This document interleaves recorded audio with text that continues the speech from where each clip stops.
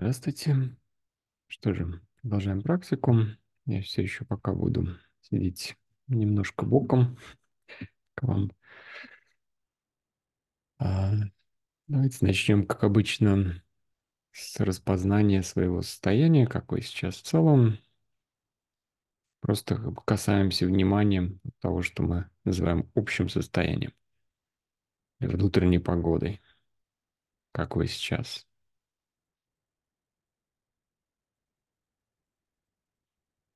И затем по звуку гонга мы можем как бы пересечь символически границу нашей практики, поклонившись, если кланяетесь, и дальше будем следовать уже внутри этого пространства.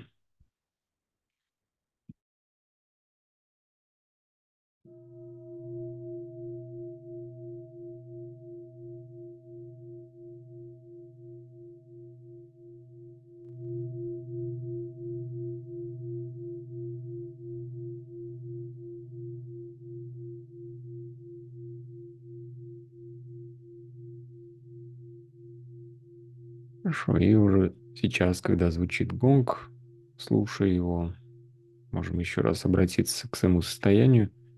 Возможно, сам этот переход пространства практики, он уже начинает что-то делать, чуть-чуть что-то менять. И дальше можем обратиться к своей позе, почувствовать ее, насколько вам удобно и устойчиво сидится. И затем предлагаю сделать вот четыре вида таких физических прикосновений к себе, которые можем символически связывать э, со стихиями. Начнем с огня. Просто так себя обстучим. Стучим по всему телу. Вот такие вот слегка обжигающие, обжигающий контакт. Приятно обжигающий. Когда по голове, вот, имеет смысл так ноготками поколоть слегка активизируя кожу головы. И потом по лицу, подушечкам пальцев. И дальше уже по всему телу, чувствуя такую как бы, адекватность этих постукиваний в каждой части тела, где-то посильнее захочется, как в каких-то частях где-то послабее. В общем, проходим так все тело. Если есть возможность до стоп дотянуться, до стоп тоже – И можем по мере того, как мы это делаем, чувствовать, как меняется что-то в ощущениях, больше оживление такое происходит, а, согревание тела, энергетизация такая мягкая. Хорошо, и затем завершим и посидим немного. Тут стадия наблюдения после того, как мы сделали вот эту активность, провели – она тоже важна, потому что можем здесь чуть внимательнее почувствовать, обратиться к ощущениям, почувствовать, что меняется, как меняется,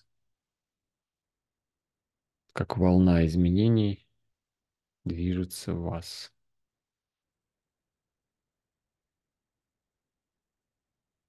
Хорошо, следующий э, это воздух, мы можем как будто бы так вот снимать что-то, какие-то себя вуали, старую кожу, не знаю, что представится.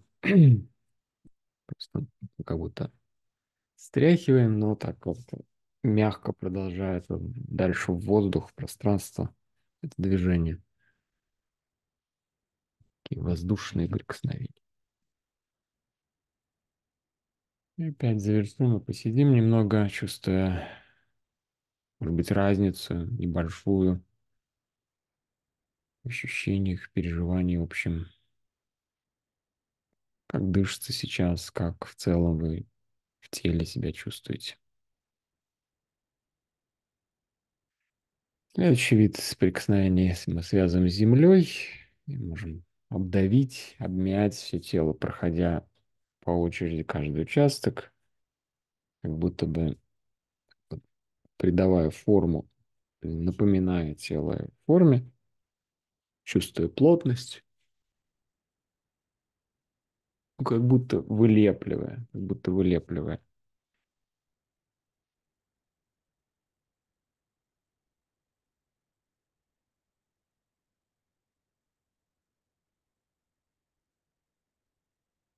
Хорошо. И опять посидим какое-то время, чувствуя, что меняется после этого, есть ли какие-то специфические оттенки изменения ощущений.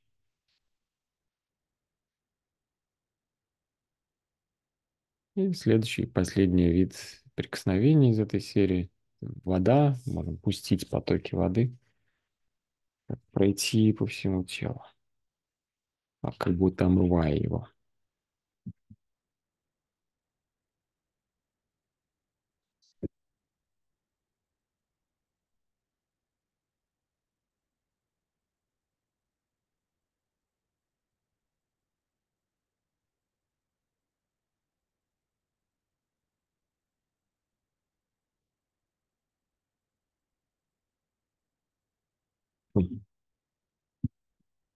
И потихонечку завершим.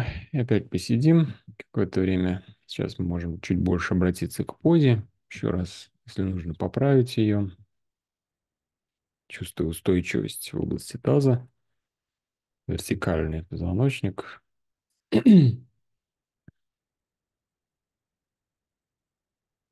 Как сейчас дышится, как вот после этих четырех видов прикосновений вы себя чувствуете, меняется ли что-то хотя бы чуть-чуть с начала практики.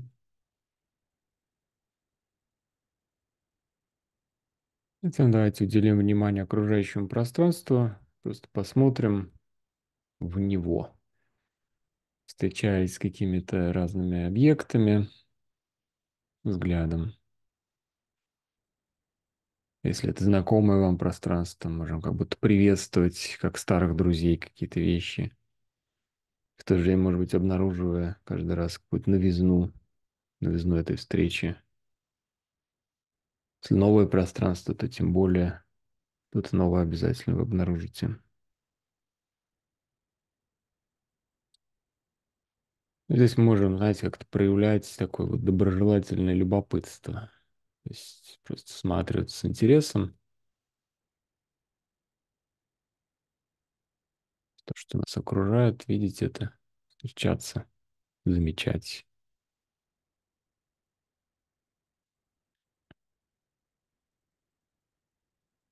И также обратите внимание, где движется ваш взгляд. Если он движется на одном уровне, на уровне глаз, собственно, тогда давайте вспомним про верх и низ, что они у нас тоже есть.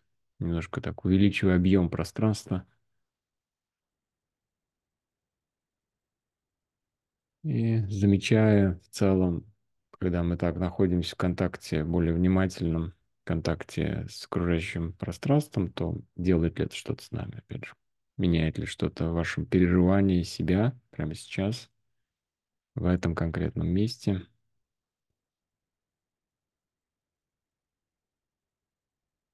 Хорошо. И постепенно давайте доберемся взглядом до своей чашки.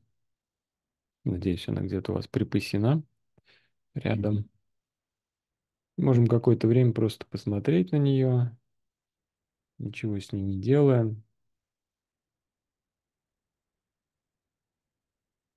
И тоже просто, когда мы продолжаем смотреть, даже если уже надоедает в какой-то момент смотреть на одно и то же, можем продолжить все равно, обнаруживая может быть, какие-то новые детали. Самое главное, что можем замечать, а что происходит в этом контакте с нами. Меняется ли что-то в вашем отношении к этому предмету, простому, бытовому. Пока вы замечаете все новые и новые детали, пока это распаковывается как будто в вашем восприятии.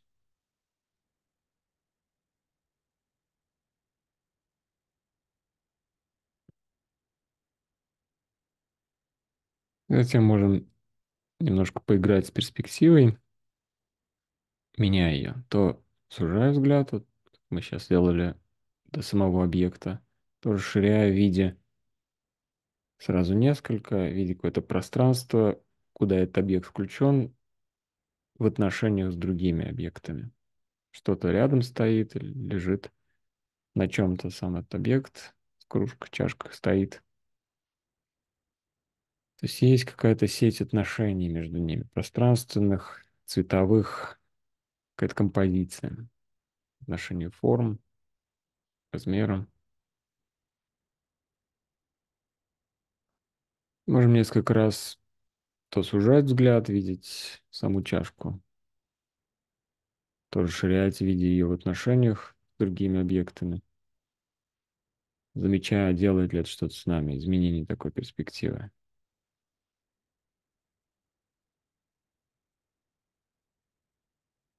Соответственно, если вы замечаете это, то может быть хорошим приемом для отношений вообще с чем угодно практически в нашей жизни.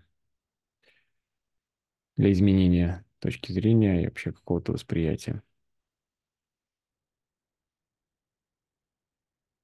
Ну, и еще один шаг предлагаю сделать, когда можем вписать себя в эти отношения, просто вспомнив, что мы тоже здесь как физическое тело.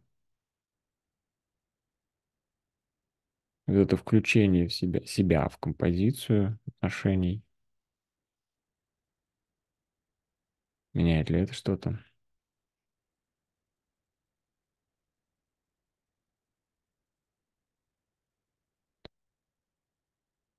Хорошо. Если вы что-то замечаете, то каждый раз можем как-то делать такие внутренние заметки, что вот это есть, и могу ли я это как-то использовать в жизни. Полезно ли мне это? Дальше давайте поднесем руку, потрогаем чашку, немножко будем через тактильный контакт с ней. Есть температура, есть плотность, это фактура. Еще какие-то тактильные ощущения. Потом приподнимем ее, чувствуя вес. Это еще один фактор реальности. И потом в какой-то момент можем поднести чашку к носу, понюхать аромат, вдохнуть. Кого-то он может быть сильный, кого-то слабый, у кого-то может быть вообще нет никакого, но тем не менее можем побыть с этим каналом восприятия, через него как немножко его открывая в контакте с напитком.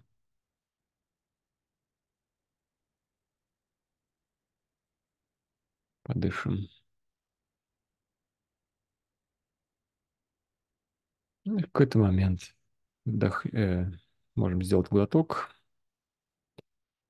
почувствовать контакт со вкусом.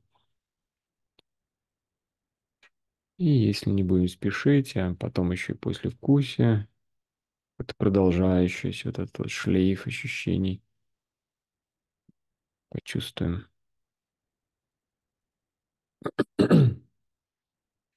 И следующие минутки три давайте посвятим именно такому неспешному питью, контактируя с напитком через все каналы восприятия, чувствуя тактильно, визуально видя, вдыхая аромат, чувствуя вкус, не спеша, с остановками.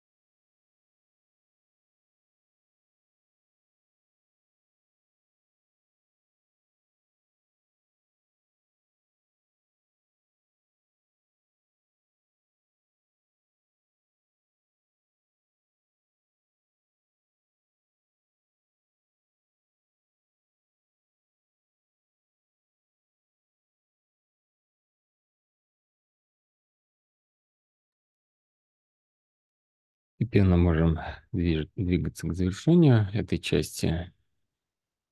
Допейте, если хочется еще сделать несколько глотков.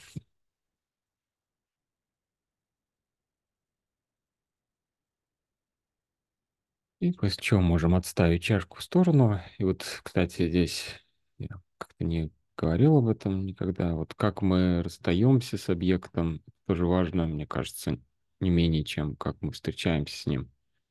То есть, если мы можем как-то с благодарностью отпустить эту чашку, не отпустить ее, просто так поставить ее аккуратненько, как бы попрощавшись, сказать спасибо за эту встречу.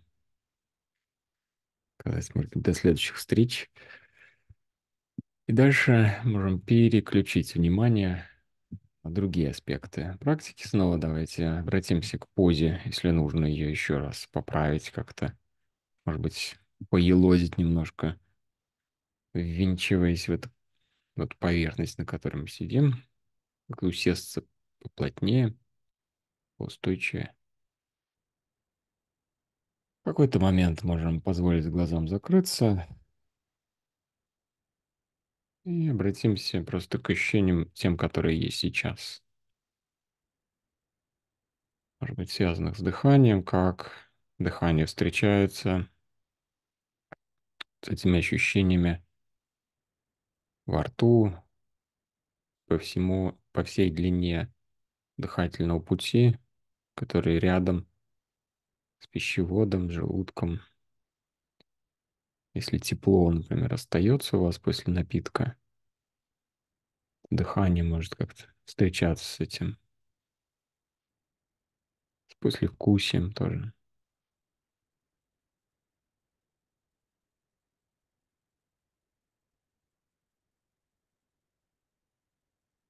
В целом можем обратить внимание, что изменилось за время практики, за время вот этой нашей встречи с напитком и с собой, соответственно. Сначала, как только мы еще входили сюда, как вы сейчас.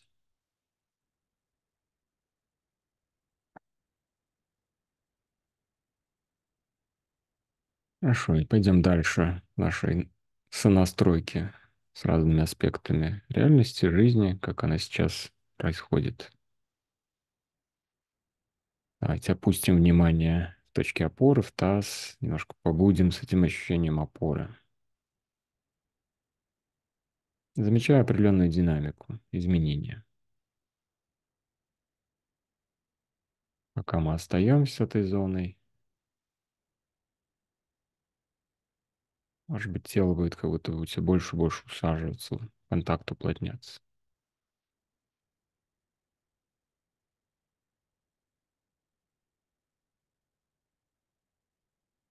Здесь можем чувствовать связь с дыханием. Если плотность контакта с опорой нарастает потихонечку, если вы чувствуете, что все как-то плотнее и плотнее садитесь, усаживаетесь, влияет ли это на дыхание и на ваше общее состояние.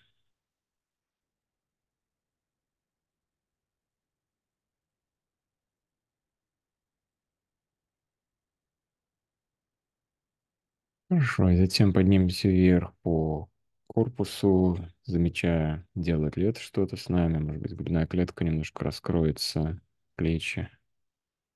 Дойдем до макушки, слегка потягиваясь за ней и утапливая при этом подбородок в горло. Это вырастание вверх делает ли что-то с нами, с дыханием, с общим состоянием.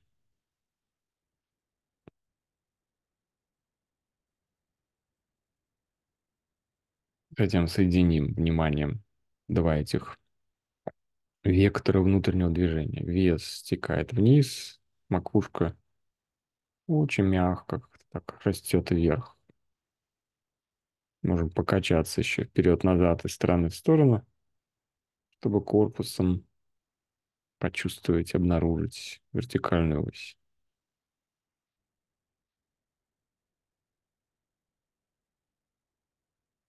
Когда вот все это сделали, предварительные, и вот проходку по телу, мы собираем все это вместе, можем дать себе время, чтобы как-то разместиться в теле таким образом, чтобы это все чувствовать одновременно. Тяжелый таз, вертикальная ось, макушка устремлена вверх, подбородок немного утапливается в горло, живот мы отпускаем.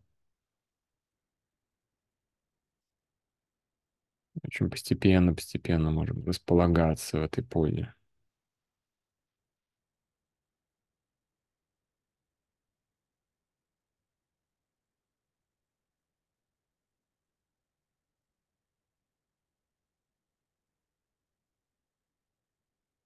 И замечать отношение формы, внимания и состояния.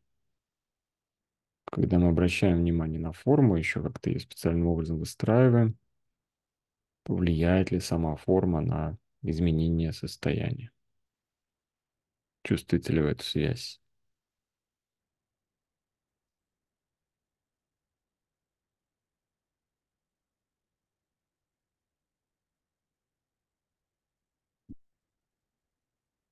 Хорошо. Затем, если вы следуете моему предложению, этому ритуалу предложенному, когда мы одну руку можем положить на грудь, другую на живот, давайте это сделаем. Или не кладите, просто можем почувствовать себя в этих местах. Если положили, то можем немного подвигать руками в поиске каких-то хороших мест прикосновения, где руки лежат как-то хорошо, чувствуется. Немножко побудем с дыханием, с теми ощущениями, которые возникают от контакта.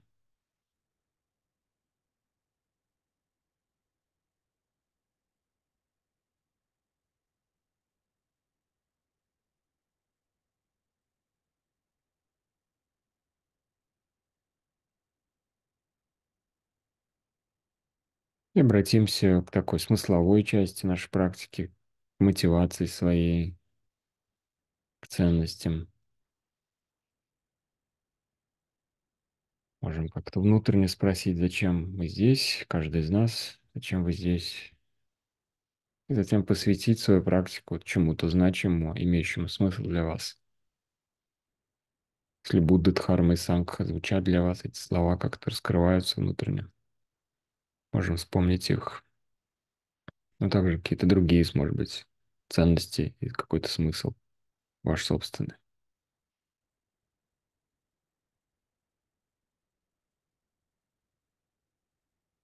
Если мы обращаемся к этому ценностному полю, то такое напоминание себе делает ли что-то, опять же, с вами сейчас.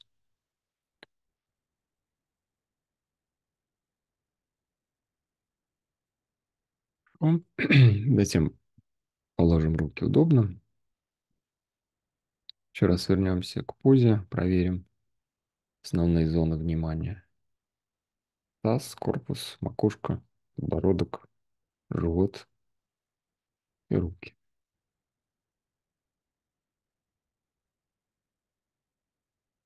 Это мы сидим так, чувствуя позу, дыхание движется здесь же.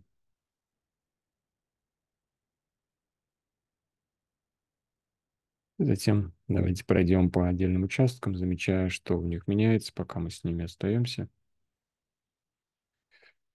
Начнем с глаз. Мышцы вокруг глаз, пространство за глазами. Что-то может смягчиться, отпуститься там. Нижняя челюсть, если мы ее отпустим, чувствуя вес, как она прям повисает. Оказывает ли это влияние на дыхание, когда мы отпускаем челюсть?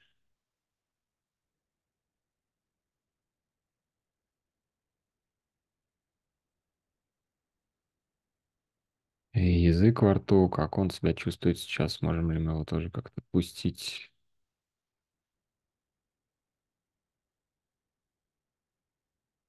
В целом вся ротовая полость после напитка, может быть, еще после вкусия, тепло, еще какие-то ощущения. в губах также.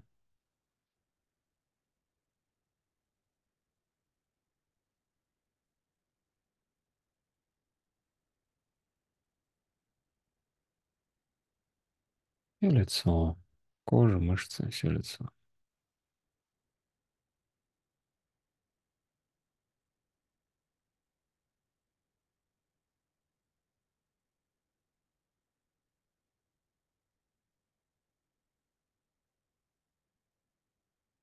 И затем затылок, шея, плечи. Плечи могут потечь вниз. За весом рук. Если мы отпускаем руки, чувствуем их вес, то и плечи могут мягко стекать за весом рук.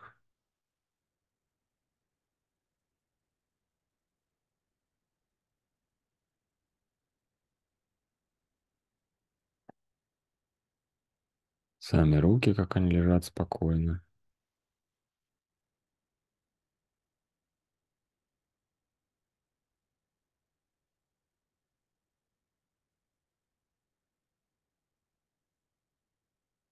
Спина, вся спина, как она дышит. Вот это дыхание в спине можем чувствовать как такую дополнительную поддержку. На вдохе спина расширяется, может быть, немножко энергетизируется, раскрывается. А на выдохе лишние напряжения могут стекать вниз вдоль позвоночника.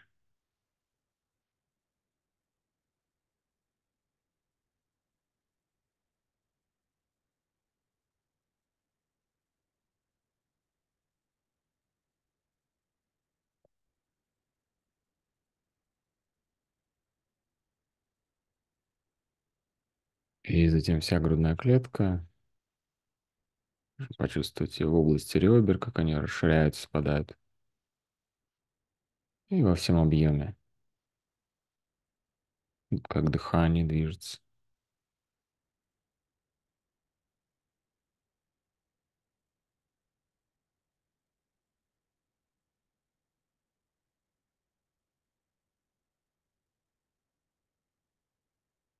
Затем солнечное сплетение живот.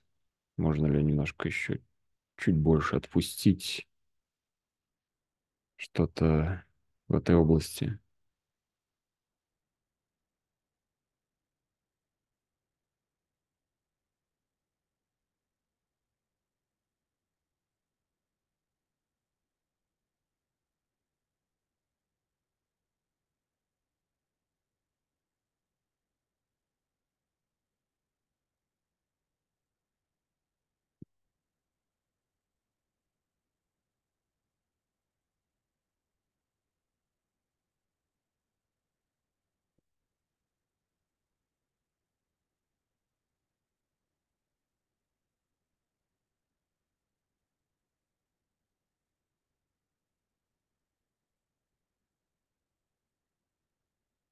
Ах, промежность. Еще раз ягодицы вес всего тела, как он стекает, протекает сквозь тазовые кости. Можно чувствовать плотность контакта.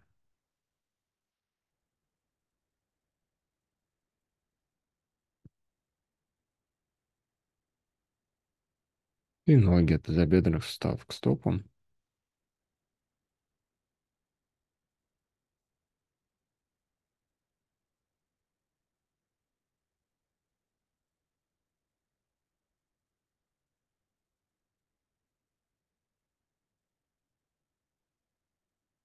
Вернемся к целому телу, к форме нашего сидения, к позе. Еще раз как будто бы вливаясь в нее полностью, отдавая себя ей, позволяя этой форме, этой структуре удерживать нас и влиять как-то на общее состояние.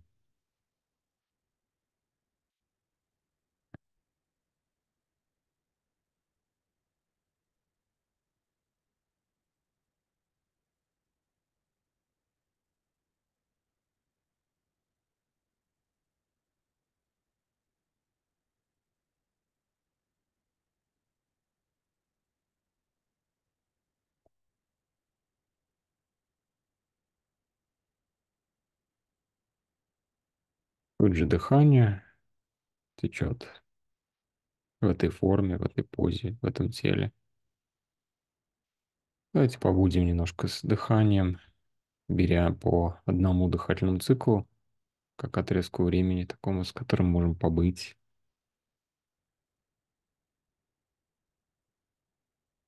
И можем проживать каждый дыхательный цикл как один единственный, наполняя его своим присутствием.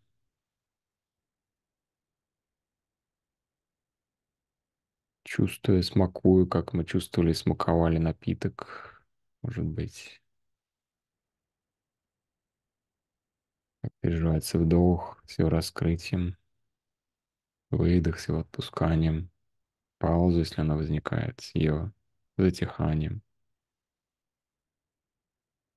Новый вдох.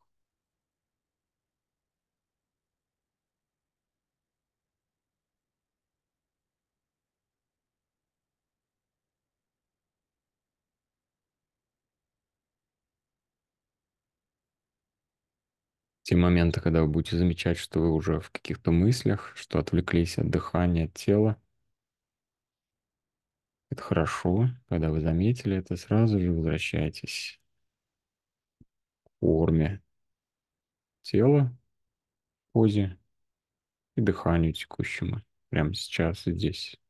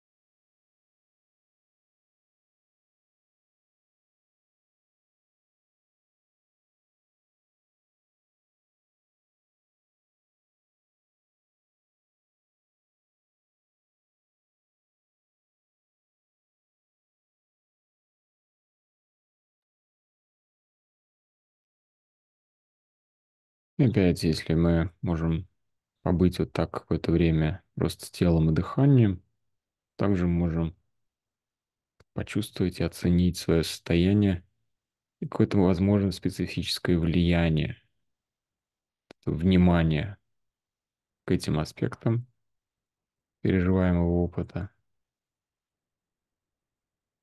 как внимание к дыханию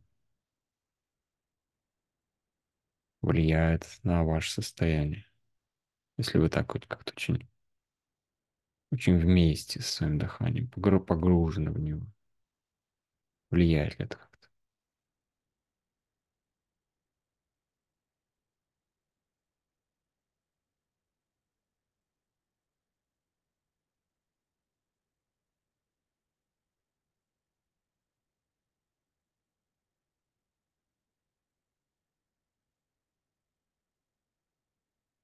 Хорошо, и дальше я предлагаю нам еще немножко расширить внимание, уделить внимание еще одному аспекту, такому вот расширенному, раскрытому контакту с реальностью, как она есть.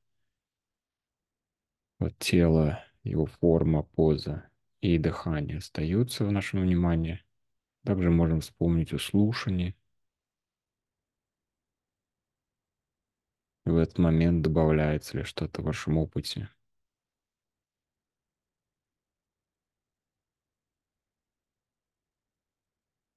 Затем, если вам удобно приоткрыть глаза, можно приоткрыть, глядя под 45 градусов, как бы никуда, так расширенно, сфокусировано. Неважно, есть что-то перед вами там или нет, какие-то объекты. Просто можем какое-то время посидеть, стараясь так вот оставаться или возвращаться к такому вот расширенному переживанию через все каналы восприятия. ежемгновенно осознавать, что происходит, какие феномены появляются в вашем переживаемом опыте, будь то внутренний или внешний. Давайте так посидим.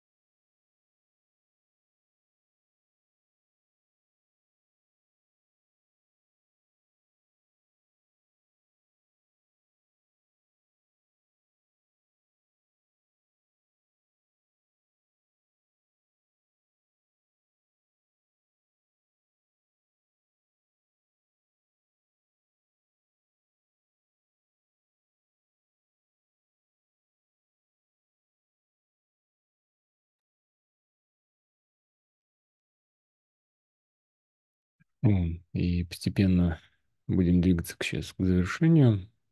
И, как обычно, я предлагаю в конце снова вспомнить больше о такой смысловой части и ценностной, символической, что можем воспроизводить через представления, образы какие-то, ассоциации.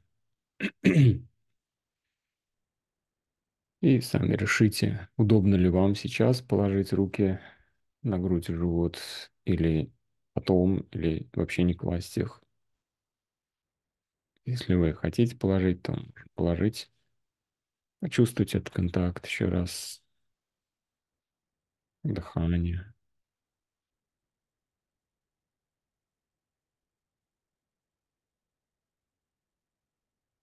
И сегодня я предлагаю нам взять вот основную нашу метафору тепла. Потому что, с одной стороны, это физическое ощущение, а с другой стороны, мы наделяем это понятие каким, какими-то большими разными смыслами. Тепло для нас важно в отношениях, как душевное тепло, сердечное тепло, не только физическое. Тем не менее, они как-то связаны друг с другом. И вот я предлагаю начать с физического тепла. Просто почувствовать, а где в теле сейчас больше всего вы чувствуете тепла. в каком участке его больше всего.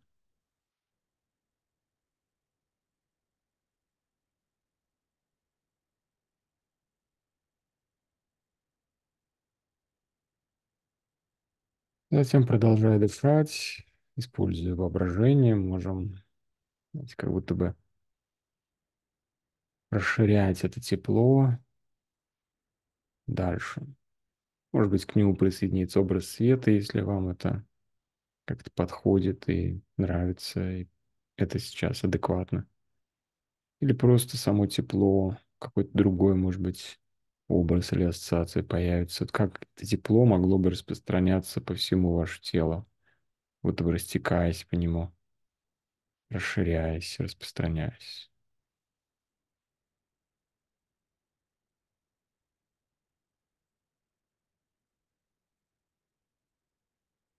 разливаясь.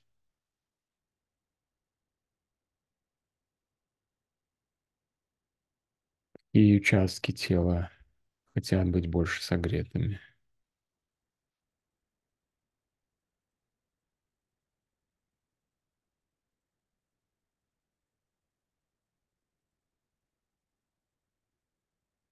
Затем, если мы обратимся к такой сфере, которую называем сознанием, может быть, какие-то области нашего сознания, там, где возникают мысли, чувства, состояния какие-то, хотят ли эти области тоже быть согретыми? Можем ли мы добавить туда тепла? Опять же, если это сопровождает еще образ света или еще какой-то, то хорошо. Если нет, значит нет. Это хорошо.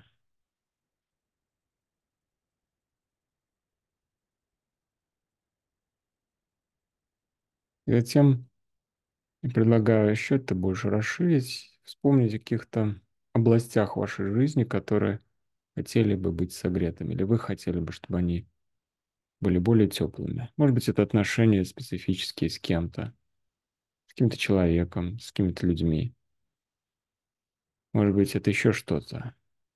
Ваша работа, не знаю, деятельность какая-то, это увлеченность, какие-то сферы, где вы чувствуете, что тепло бы не помешало. Может быть, помогло бы.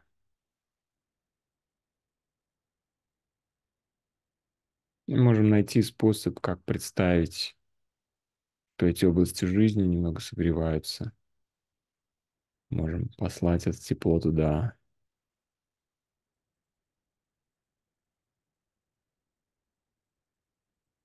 При этом, если вы делаете такой вот опыт, производите эксперимент, то делает ли это что-то с вами прямо сейчас, такое символическое обращение к каким-то областям жизни, даже символически их как-то согревая.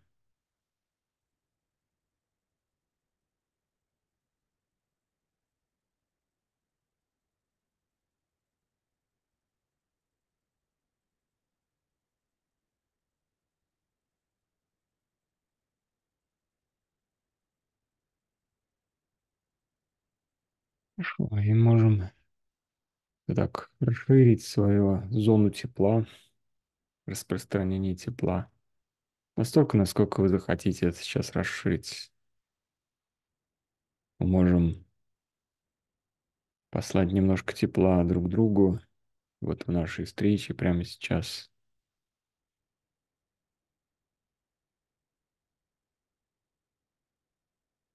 Еще какие-то области жизни расширенные, больше. где, может, может быть, вы непосредственно и не очень включены, но они почему-то важны для вас. Может быть, это будет какая-то совершенно максимальная зона, охватывающая, например, всю планету или даже всю Вселенную. Столько, насколько вы сейчас захотите расширить это тепло.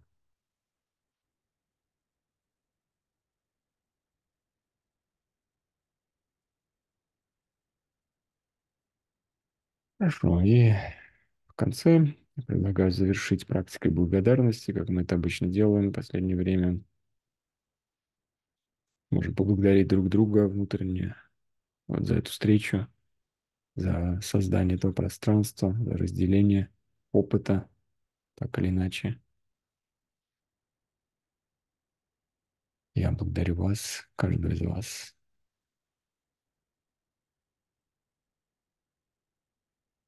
Расширяя область благодарности, можно вспомнить своих близких, тех, кто разделяет с нами жизнь, друзей, родственников, еще кого-то. Близких существ, не только людей.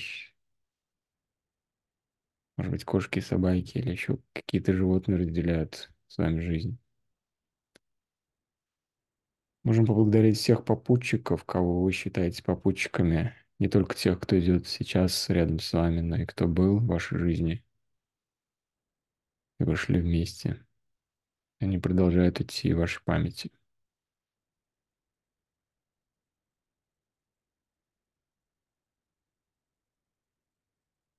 Можем поблагодарить всех учителей, тех, кто внес какой-то вклад в нашу жизнь.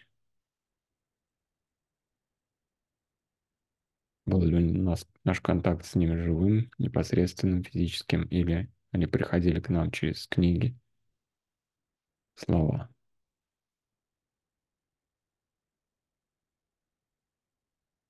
образы.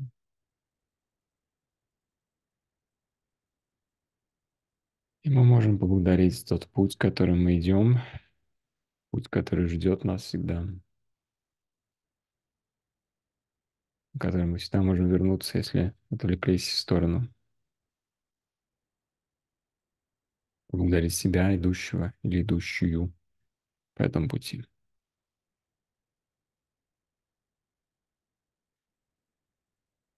И можем оставить здесь все, что захотим оставить в этом пространстве, взять сегодняшний день все, что хорошо бы взять, важно взять, нужно взять. Сейчас давайте себя погладим по животу, по часовой стрелке, по кругу. И потом как будто разглаживая так по всему телу, пускайте потоки воды опять к ним возвращаясь.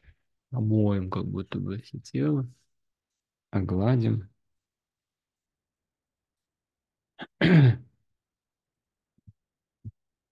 Потом продолжим движение через подтягивание. Еще больше раскрывать его. Отдаваясь этому подтягиванию. Сладко, может быть, как-то с удовольствием. Если глаза были закрыты, откроем их, оглядимся в пространство, видим его. Как вы себя сейчас чувствуете здесь и сейчас? Изменилось ли что-то в вашем переживании в сравнении с началом? По звуку гонга можем, клонившись, закрыть это пространство. 10 минут посвятим творческому отклику.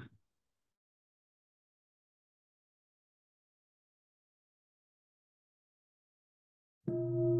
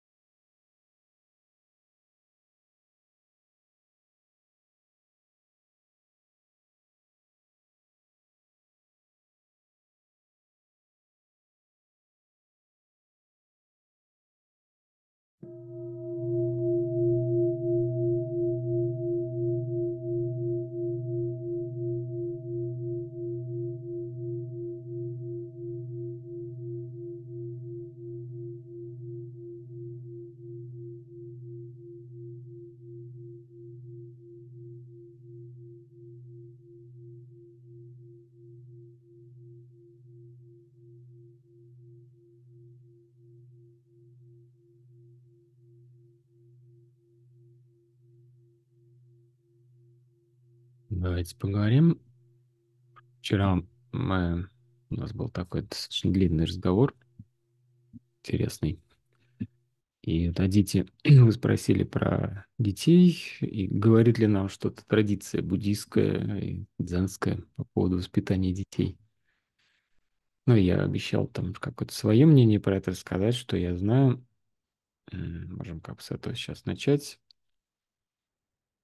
Ну, э, традиция здесь, смотря что понимать под традицией, если мы говорим какие-то тексты, какое-то основное такое тело традиции, так сказать, вот, которое передается из века в век, там меняется, конечно, как-то, тем не менее передается.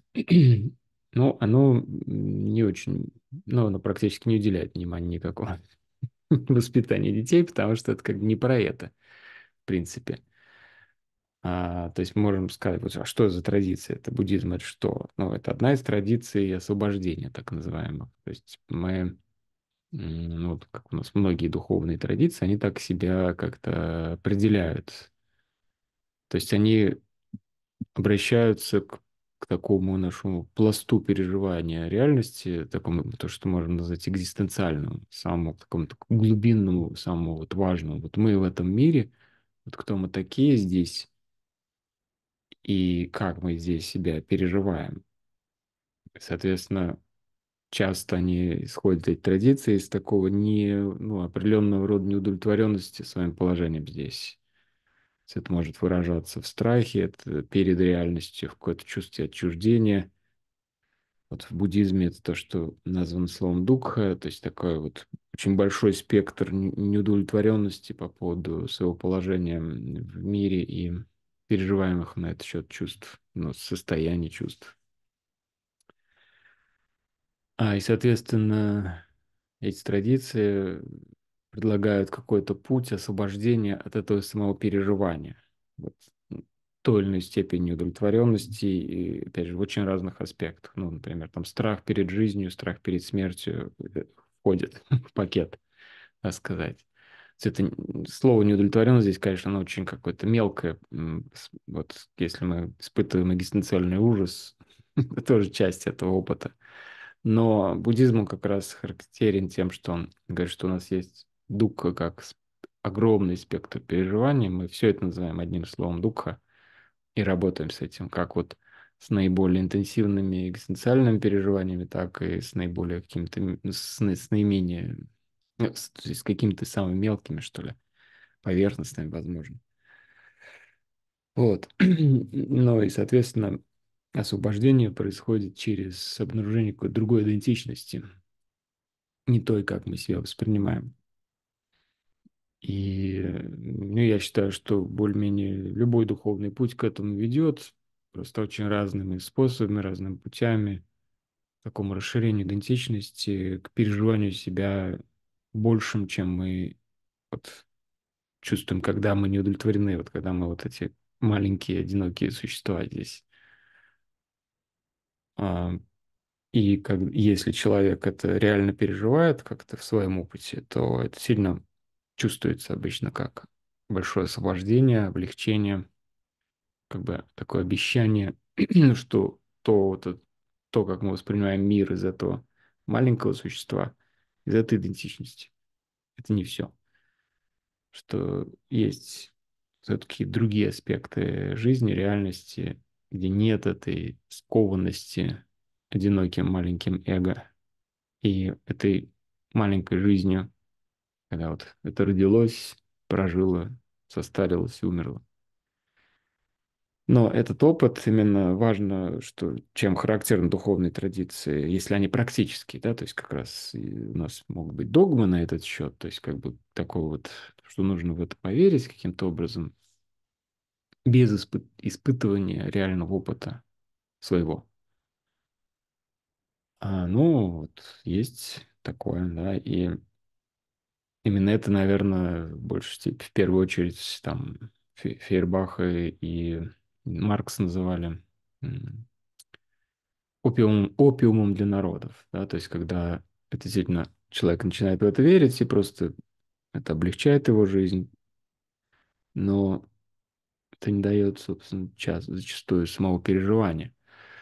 Вот. И другие традиции, которые мы называем мистическими, практическими, они вот стараются через какие-либо психотехники обычно привести нас переживанию или как-то приблизиться к ним, к этому переживанию расширенного «я», большого «я», может быть, бессмертного «я».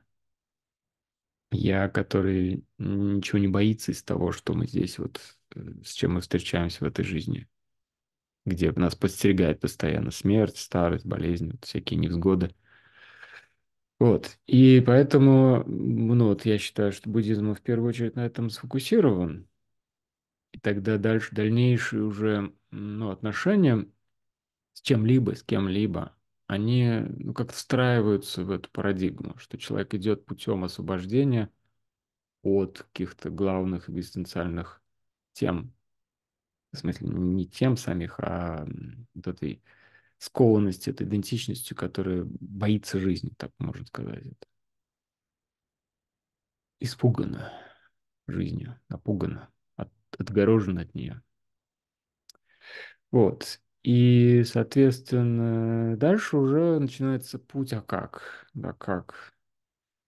И очень многие ведь как раз из этих путей, вот которые практические, они, ну, в той или иной степени можно их назвать монашескими, да, то есть когда, опять, монашество здесь в самом широком смысле, где-то есть какие-то ордена монашеские, ну, то есть организации, да, санкхи, вот монашеские э, ордена, монастыри, то есть люди собираются там для того, чтобы вот посвятить жизнь только этому, а совместность гру- группы, она нужна лишь для того, что для поддержки. То есть группе лучше, как бы легче выжить, э, если она занята какой-то очень специфической деятельностью, которая отличается от всего остальной социальной деятельности достаточно сильно, то в такой группе, естественно, легче выжить каждому. Вот. Но сюда же, в, в этот монашеский путь я включаю в том числе и отшельничество любое, когда человек совсем ходит куда-то сам с собой. И, и отшельничество тоже может быть двух видов. Он может стационарное отшельничество, такое, когда он там удаляется в какую-нибудь пещеру, там, не знаю, в лес еще куда-то, в пустыню. Или путешествующее отшельничество. Вот мы знаем, что странничество практически в любой традиции есть. Вот из этих, э, ну вот из, из самых известных. Там в христианстве странничество есть, странствующие монахи, стра- странник как таковой вот, а, как э, духовного путешествия в странстве. То есть человек не останавливается нигде, не задерживается нигде. Ну, надолго. А, и, ну вот, э, В исламе, например, э, странствующие дервиши, да, суфии.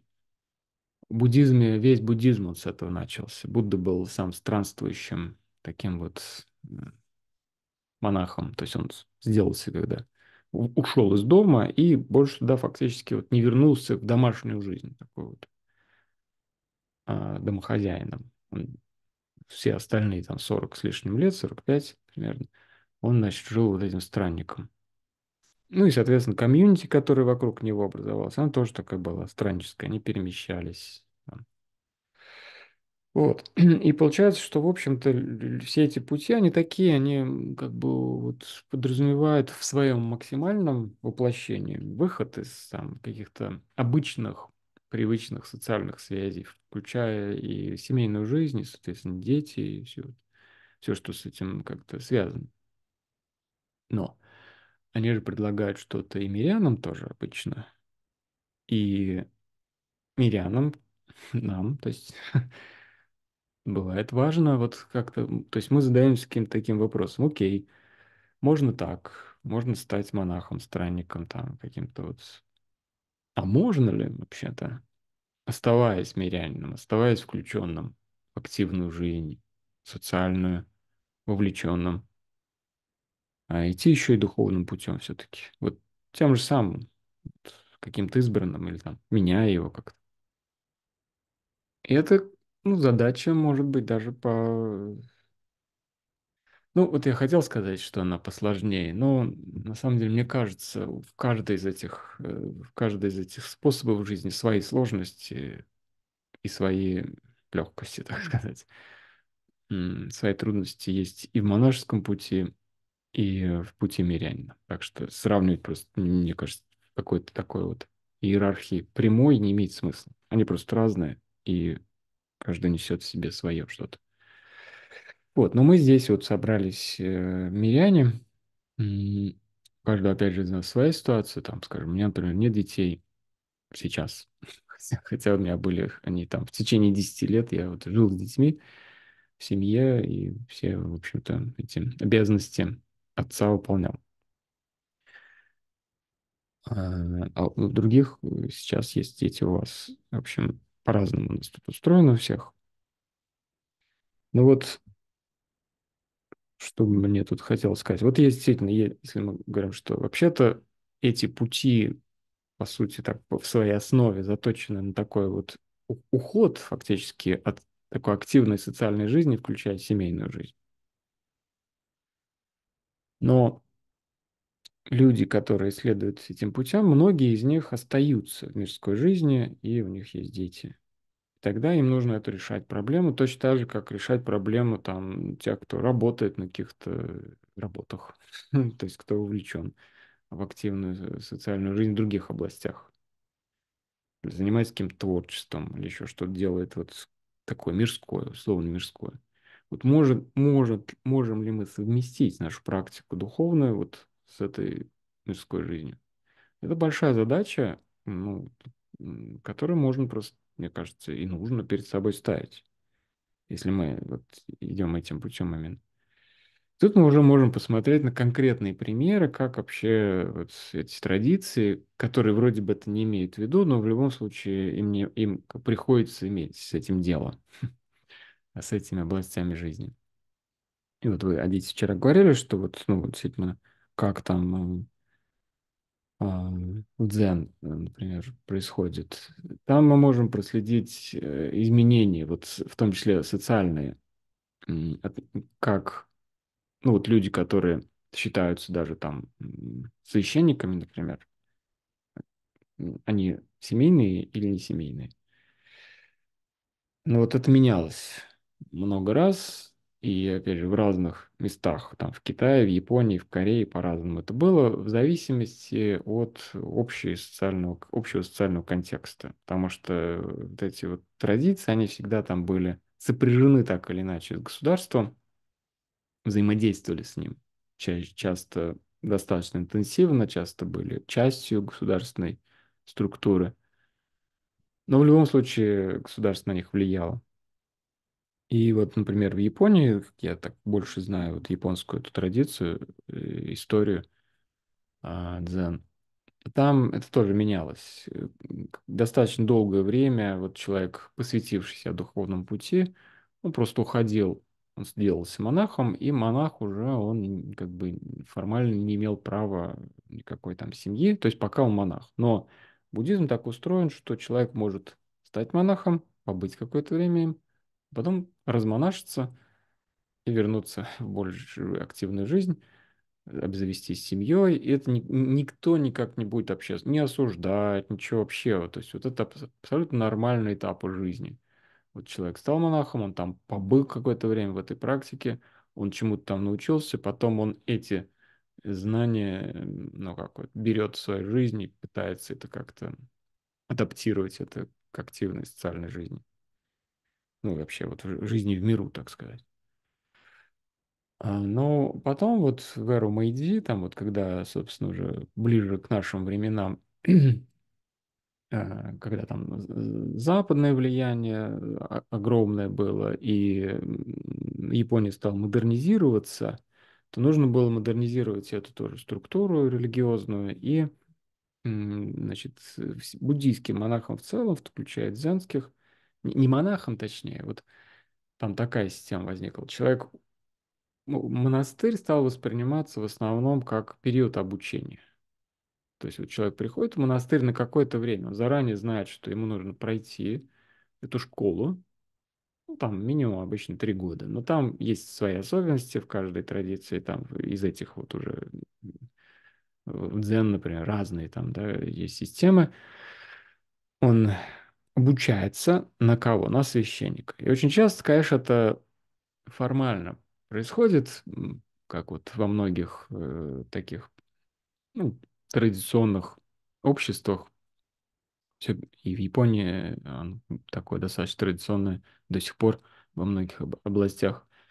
А, то есть ремесло какое-то или там область деятельности передается от отца к сыну, вот в семье. Соответственно, если отец был священником дзенским, то его сын, по идее, должен получить его приход, а значит, он должен что? Пройти этим путем. И вот он идет в монастырь, проходит там этот период обучения, его посвящают вот э, эти священники уже, и он принимает монастырь под свои, не, не- монастырь, точнее, вот этот храм. Этот храм обслуживает, соответственно, паству определенную, там деревни какие-то или в в городе. Эти прихожане приходят, но практика там, соответственно, наша вот эта дзенская, люди медитируют. Ну, там еще про ритуалы какие-то проводятся, конечно, много там в основном э, про похороны, про смерть, э, вот буддизм много про, про- про смерть. Вот, и, соответственно, ну вот, э, этот священник оказывает ритуальные услуги, так сказать, населению. И священник может иметь детей. И вот уже сейчас какие-то современные учителя, многие известные, там, Шунру Судзуки, там, Мия, Миязуми ну, в общем, многие вот, которые приехали на Запад когда-то, или там, наоборот, западные люди ездили в Японию учиться у них, они, у них семьи, у них детей много достаточно бывает. Вот, и им нужно как с этим взаимодействовать, понятно, с детьми. И там, опять же, вот как я вижу, там что-то читая какие-то даже, и- ну или их, э, что они там сами рассказывают, или их биографии какие-то. Наверное, просто, что как, э, как везде, люди очень по-разному себя ведут э, с детьми. И священники, и даже какие-то вот известные учителя очень по-разному, опять же, проявляют себя и очень сильно влияет на них, собственно, та структура общества и те, тот уклад общества, который есть. И большинство из этих все-таки устоев, они такие патриархальные, ну вот, и как бы они проникают в том числе и в монастырскую жизнь, и в жизнь вот этих людей, которые там, ну, как-то вот со своими детьми взаимодействуют. Ну, вот отец, он глава там семьи, он, и он должны все слушаться, ходить, значит, перед ним на цыпочках. Вот. Но, конечно же, это встречается с, уже с конкретным характером. И вот там, например, э, Шунжи Судзуки был человеком мягким, он так достаточно мягко с своими детьми в целом обращался. Как я это, ну, читал, во всяком случае, из каких-то воспоминаний о нем и его самого. Другие учителя там были более строгими. То есть здесь, как бы, опять же, то, что я вижу, влияет в большей степени даже не сама традиция буддийская, а, собственно, сам уклад общества. Вот я помню, когда я впервые попал э, в Таиланд, я когда еще начинал вот ездить, так сказать, по разным местам, где я практиковал более интенсивно. Вот я попал в такой монастырь тайский, где была женская часть и мужская часть. Вот э, в Тхераваде там много таких монастырей, где как бы, женщины и мужчины в, од- в одном монастыре, как бы они, как такая большая семья. Но просто там есть половина женская, половина мужская, они стараются не заходить на территории, там, не, не перемешиваться, потому что все-таки монашеские правила э, действуют, значит, насчет там сексуальности, все это. Вот, но большинство ритуалов происходит вместе, там, песнопения, какие-то общие ритуалы, и едят, например, вместе. Ну, там как бы есть такое разделение обязанностей, вот когда мы, мужчи... Э, то есть мы идем за едой, а идут мужчины за едой, вот мы с чашками, ну, точнее, мне как послушнику чашка не была положена, я так шел с мешком, с пакетом. Вот. Э, и мужчины приносят эту еду, а женщины потом сервируют все. Ну вот, что мне сразу не понравилось там, это вот эта вот э, иерархия. Ну, я просто все-таки такой человек феминистических э, склон, наклонностей. Считаю, что важно равноправие. А там, ну вот эти монахи, они, во-первых, мужчины, они сидят на возвышении, еду они получают первые, а вот женщины, и мы послушники, мы внизу, значит, такие вот сидим на каменном полу, едим, до нас подносы с едой доходят последними. Ну, понятно, что это мелочь, и что для всех как-то это, то есть это какая тут эта разница в отношениях, она не сказывается. Люди нормально друг с другом общаются и там как-то подшучивают друг над другом, там вообще, ну, я имею в виду, что какие-то достаточно равные отношения. Но как это выстроено вот в структуре, когда вот так смотришь, э, ну, там есть эта разница. Действительно, вот патриархальное общество, оно действует и там. И я вижу, что вот это влияние, конечно же, если мы говорим о именно каких-то традициях, то оно проникает э, вот в отношения уже внутри сообществ э, этих самых каких-то религиозных, там, духовных и так далее. То есть мне кажется, в большей степени вот это вклад самого общества влияет, чем там практика духовная. Конечно, они перемешиваются. И тут тогда, к чему я вообще все это рассказываю? Тут, Потому что нам важно, наверное, возвращаться к себе и смотреть, а как в нашей жизни перемешиваются установки того общества, где мы живем. Ну, мы живем там в основном вот всех, кого я тут знаю, вижу, достаточно западных, достаточно западных обществах, имею в виду с таким за, западным мировоззрением, вот, где важно равноправие, где важно уважение, в том числе к детям, где ребенок сейчас фактически культовое существо. А у нас вот культ детей. Последние последние десятилетия. Ну, даже вот я просто по, по, вижу, как изменилось отношение к детям по сравнению с моим там детством. Ну, что ну, я не был культом. Выпустили во двор, и все, на целый день. А сейчас ребенка надо обрабатывать постоянно, воспитывать там его всячески образовывать, и на него вот он... Потому что просто детей мало стало, и они, конечно, дороже. Ну, просто это заметно, да, как общество меняется при уменьшении количества детей, как эта ценность становится более выраженной, естественно, отношения с детьми, и больше вкладывается. И мы как бы, получается, что у родителей больше такого вот как бы обязательств, которые на них уже накладывает общество тоже. И контроль общество над родительством усиливается, да. Вот моя подруга рассказывает, что ее сын не разрешает пить алкоголь, потому что говорит, что меня тогда отправят в, род, в детдом, если ты будешь пить алкоголь вообще. Ни в коем случае. То есть только в доме запахло алкоголем, сразу же надо прекратить это дело. вот. Ну и, в общем, что я тут э, хочу сказать об этом, что традиция традиции, и традиция особо, как я уже сказал, ничего не говорит специфического про это. Но мне кажется, мы можем использовать основные просто инструменты, которые у нас есть. Наш основной инструмент – это присутствие. Это универсальный инструмент, который мы направляем, так сказать, на любую сферу жизни. Как я присутствую в чем-либо – Когда мы тренируемся в присутствии вот формальной практики, это у нас такое вот сконцентрированная практика присутствия. Мы стараемся возвращаться и возвращаться в тот момент, как мы вот здесь, к чему-то очень конкретному прямо сейчас происходящему, вот что ближе всего к нам. Вот дыхание, вот тело, вот мысли возникают, приходят, уходят.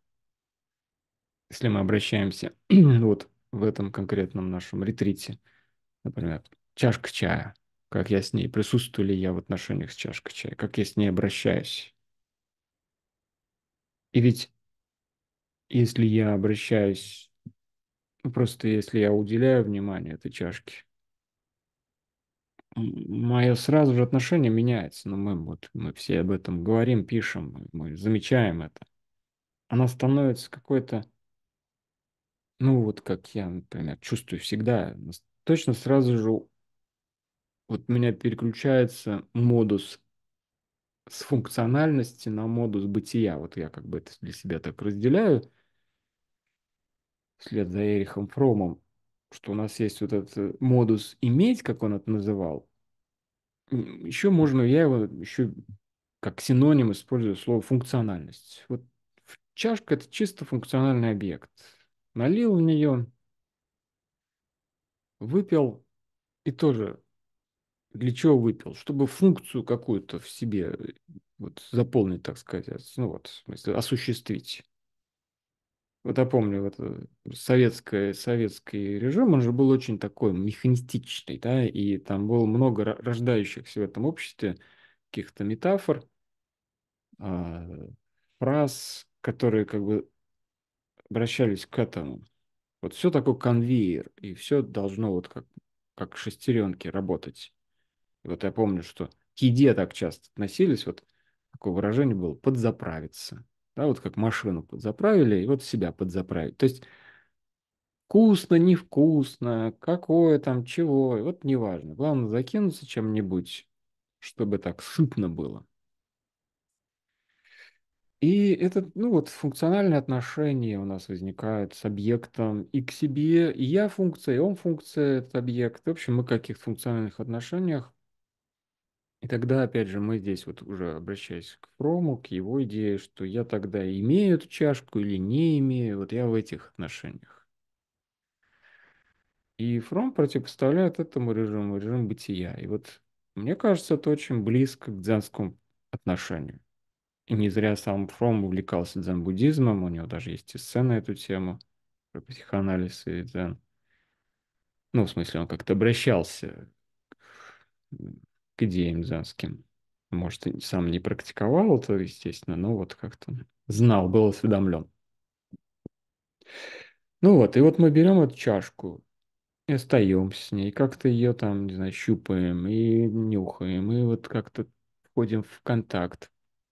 Ну и, наверное, я предполагаю, для большинства из нас это близкий опыт, где мы можем чувствовать что мы смещаемся вот из режима чистой функциональности в режим бытия. Это не значит, что функциональность исчезает. Она просто, вот, что называется, трансцендируется. То есть мы функциональность остается как фактор, но она перестает быть значимой, что ли. Вот бытие становится более значимым. Вот встреча с, с чашкой. Мое бытие, ее бытие, наше бытие появляется какое-то вот это событие, событие. Мне очень нравится это слово, потому что оно как очень показательно. Происходит событие. И вот с чашкой, вот с дыханием, вот с мыслями, с своим состоянием. Вот там, не знаю, с городом, с миром. Вот я сегодня стишок написал, просто вот здесь у друзей, где я живу, здесь кошка живет, и она очень такая вот осторожно входит в контакт. Вот вчера она еще в комнату не входила, где я остановился. Она там сидела на пороге. Сегодня она уже лежала на кровати и наблюдала меня сзади. Трогать еще нельзя было, но уже близко и наблюдала. Значит, следующий шаг будет, наверное, я предполагаю, к тому, что можно трогать уже. Мы войдем в трогательные отношения. Ну вот, э, то есть мы как-то вот осваиваемся с чем-то все время, с реальностью, с жизнью.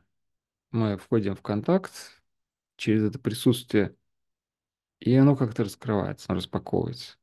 Если мы теперь снова вспомним про детей или любых других людей, которые значимы в нашей жизни, и как нам с ними, ну вот, мне кажется, так же. Основной аспект. Не игнорировать, не стараться, ну, вот зам замечать, когда вот функциональность возникает, вот вы функция, я там функция папа или мама, это функция ребенок, вот мы, значит, в функциональных отношениях. Нужно быть хорошей мамой, чтобы функции мамы хорошо исполнять. Вот кормить, поить, образовывать, значит, воспитывать, обрабатывать как-то. Это один режим. А второй режим- это вот все-таки через нашу практику, какие-то ее аспекты, вот это присутствие, просто увидеть человека, увидеть какие-то отношения, где функциональность- часть этого, но встречи гораздо больше. Где, опять же, мы можем встречаться с реакциями. Вот вчерашняя этот э, тема, которую мы поднимали вообще, вот Адите, вы поднимали ее насчет того, что вот э, ценности, ра- различных ценностей, да, что в разном возрасте у людей все очень по-разному. Вот э, Саша рассказывал про горе годовалого ребенка, у которого колесико ото- оторвалось. А дети говорил про горе дочери 16, там сколько, 17-летней по, по поводу, что макияж лежит. А мы также вспоминали, что вообще-то вот есть сейчас э, беда огромная войны, и те же дети страдают от гораздо больших бед, трагедий. А, есть, как вы, Адити, упоминали, люди, с которыми вы сталкиваетесь постоянно, больные какими-то очень тяжелыми заболеваниями, смертельными зачастую. И соприкасаясь с этим, нам часто кажется, что проблема этого ребенка, она или этого подростка, ну, она какая-то слишком уж мелкая, да. Ну, вот это вот, то есть тут же возникает что мы, то, что мы в психологии называем там обесценивание, да, вот, ну, твоя проблема ерунда, есть вот побольше проблем. Ну и вот, соответственно, если мы используем наши принципы нашей практики, то важно, опять же, войти в контакт с тем, что есть сейчас, что не ерунда.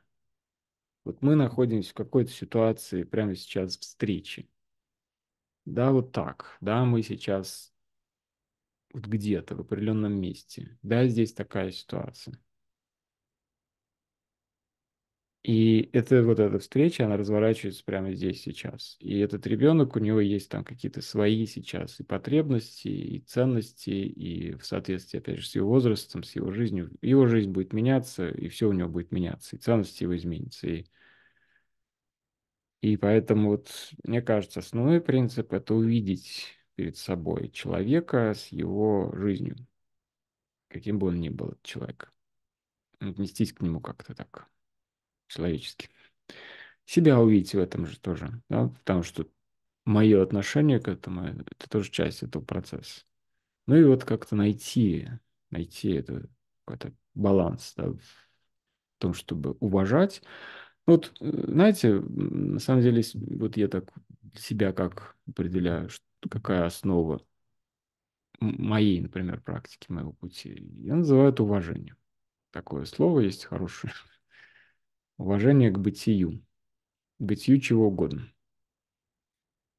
Когда я обращаюсь к чему-либо, там, к чашке, уважаю ли я бытие этой чашки? Если уважаю, то я буду ее как-то, может быть, бережно достаточно к ней относиться. Не как к чистой функции, не потребительски, а вот входить в отношения с уважением. Если я обращаюсь особенно к живому бытию, живому существу, человеку, то вот он какого-то возраста, он с какими-то своими особенностями, и мне важно тогда увидеть его. Но если я уважаю, если это есть, э, как бы как памятование, как такое, может быть, к чему можно всегда вернуться, как ценности, ценность уважения. Тогда, глядишь, из этого может развернуться как раз какой-то способ отношений прямо сейчас. Вот. Ну, то есть, конечно, вся моя речь сейчас, она такая достаточно абстрактная звучит, но ну вот мне просто важно, чтобы были какие-то базовые ценности, которых мы могли бы помнить, как такой пункт, возвращ... к чему можно возвращаться, как о чем-то важном. Что отталкиваться уже в уже конкретном воплощении. Ну, потому что там, а что значит, вот если я уважаю человека, то там ребенка, то мне как в конкретной ситуации? Мне попустительски там как-то ничего не запрещать, но это тоже неправильно, да, потому что а, это вредно будет просто для него же. Не высказывать своего мнения по его поведению, это тоже вредно, он не получает обратной связи.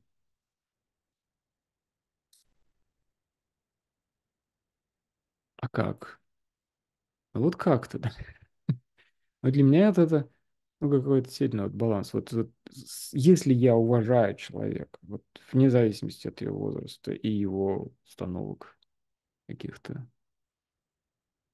то как я смотрю на него?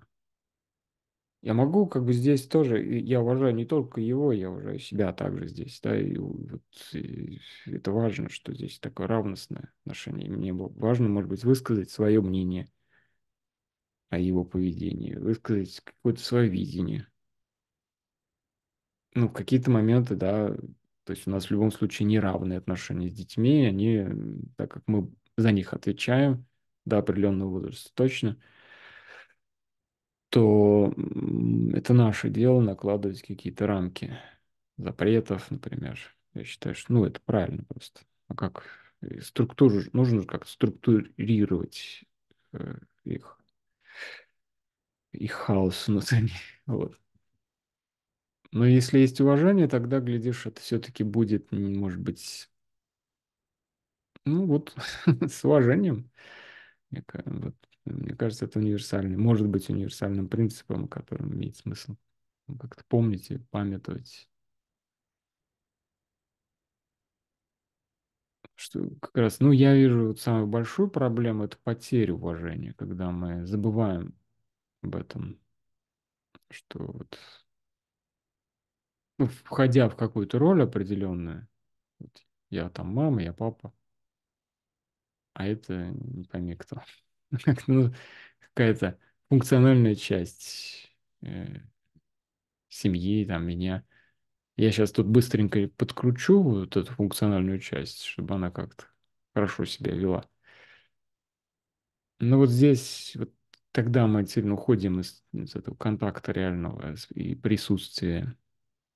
И, в общем-то, это нарушает нашу практику. Если мы хотим вносить практику вот в это, в, в, в эти области жизни, то как раз присутствие и уважение это может нас направлять в нужную сторону. Ну вот, это мои какие-то размышления на эту тему и то, как это, в общем-то, опять же, я опираюсь здесь на что? Ну вот как я знаю эту традицию, как я уже сказал, что вот на определенное. То, как я вижу, как это воплощается в конкретных семьях, например, людей, которые практикуют, в том числе учителей известных, и своего опыта, ну, вот я говорю, что у меня был там десятилетний опыт общения с детьми, с маленькими, ну, в смысле, что там с такими как раз. Период такой вот от четырех и шести до четырнадцати и шестнадцати я с ними был. То есть там разные были вот эти периоды, как бы их взросления, соответственно, возникновение очень разных аспектов вот, жизни, так сказать, вот как их, в том числе каких-то, как у них вызревали определенные взгляды, ценности, их поведение менялось. Соответственно, я тут могу... То есть мои слова, они как-то не голословно все-таки, не, не абстрактно совсем, потому что я исхожу из своего, в том числе, опыта, чувствую, что мне там помогало быть с ними как-то. Присутствие и уважение, раз так. Владимир, скажете? Да, приветствую. Ну, у меня тоже есть некоторый опыт взаимодействия с детьми. У меня их много, четверо детей, трое внуков. Вот. И вот чему я у них научился по-настоящему, это вот э, ну, не то чтобы там давать, не давать свободу. Вот. У меня было, особенно в начале отношения собственно, ничего, ощущение, что ну, вот, часть меня. И вот я знаю, как правильно, а ты что тебе там, не знаю, ты маленький, ничтожный, вот я тебя должен чему-то научить, что-то тебе передать. Да? А он упирается или она, ну, значит, и, и вот это вот признание отдельности, это вот, наверное, есть то уважение, о котором вы говорите, Валерий, ну, так по-настоящему. Да?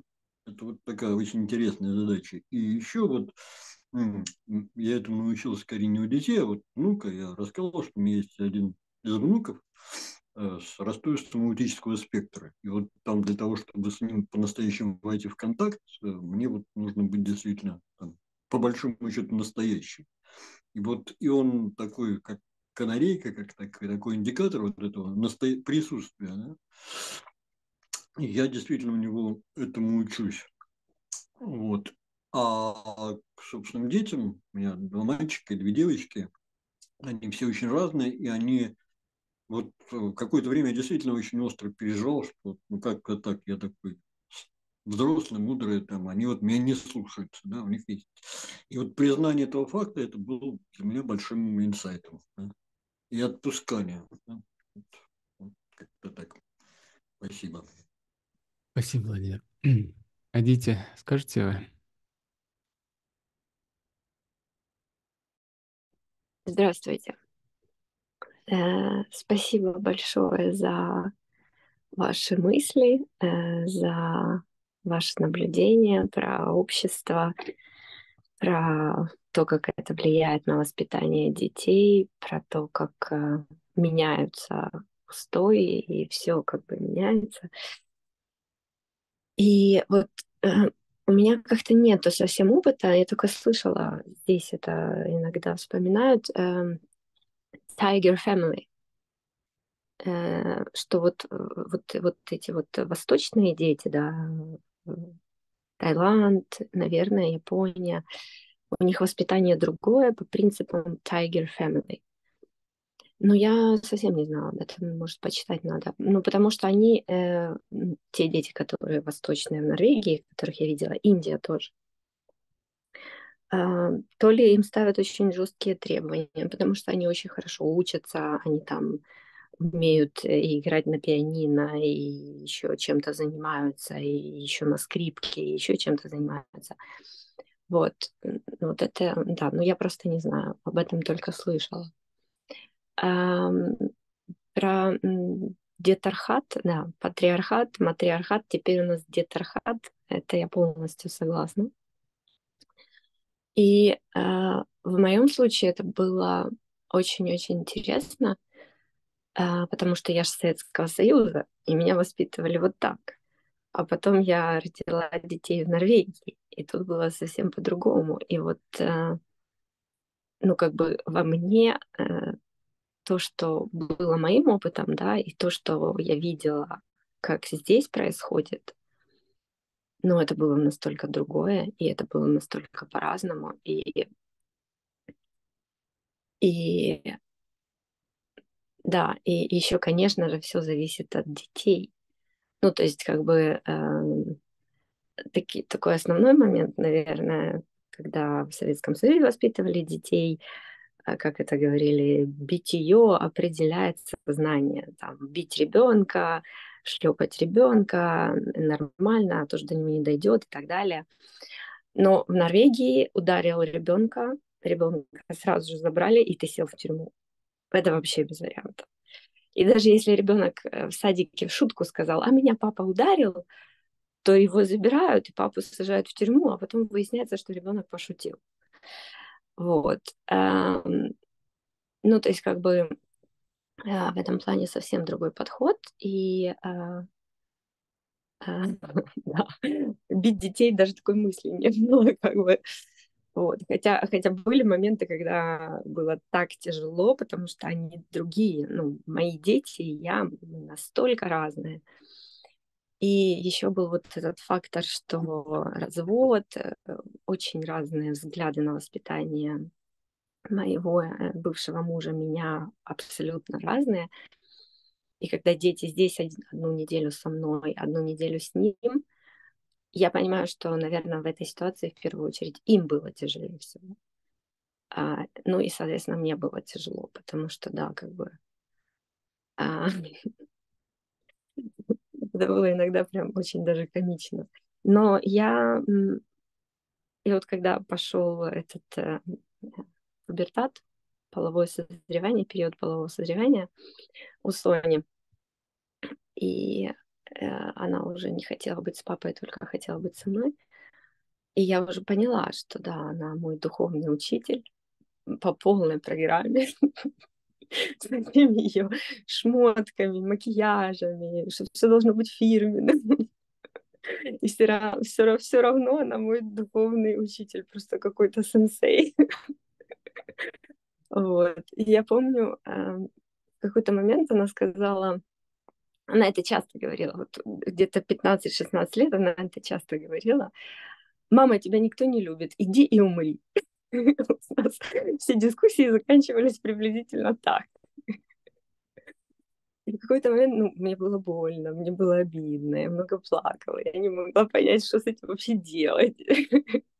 Но в какой-то момент я поняла, что да, Соня классная, она, блин, сильная очень, и меня вообще не боится, и говорит то, что думает.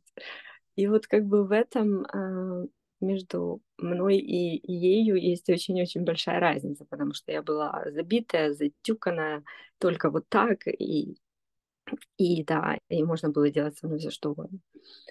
Вот. А здесь нет, здесь просто все построились и все маршируют, потому что Соня так хочет.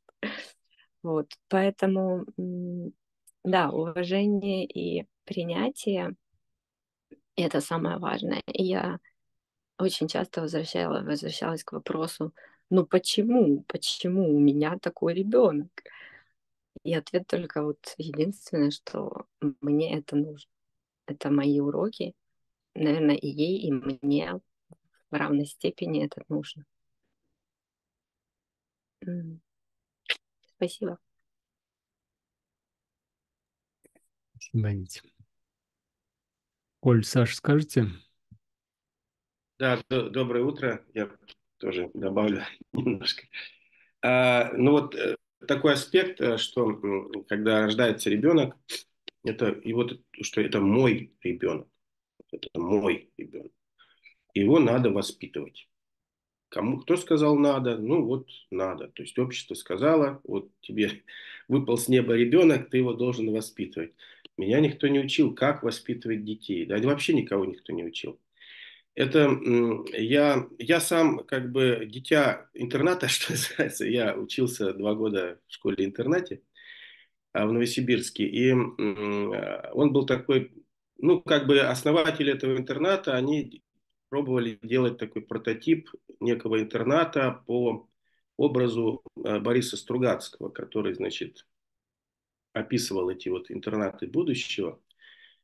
И, а, и я потом читал письма Бориса Стругацкого, переписку его с некой дамой такой именитой ну, в воспитании детей. У них большая была дискуссия. Вот она, конечно же, давила на то, что как семья должна, восп... ну, как без семьи, мама, папа, там нужно воспитывать детей, а он вот свою линию проводил, что а, а с какой стати? Люди же, никто их же не учил воспитывать детей. Они воспит... ну, как бы экспериментируют фактически над, над детьми, не зная, что делать. А нужно отдавать специалистам в руки э, детей, чтобы они их правильно воспитывали. И вот это вот дилемма, а я на самом деле до сих пор не знаю, как правильно.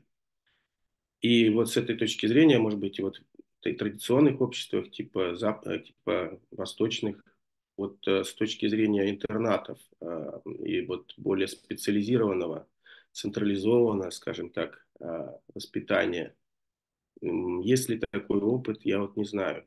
Может быть, в буддийских обществах каких-то. И, и что тут правильно? Вот такой вот вопрос. Как бы тема для дискуссии. Не знаю, под, под, подхватит ее.